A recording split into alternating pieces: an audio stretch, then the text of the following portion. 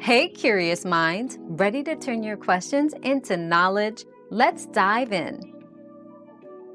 Yes, using a peel-off mask too often can damage your skin.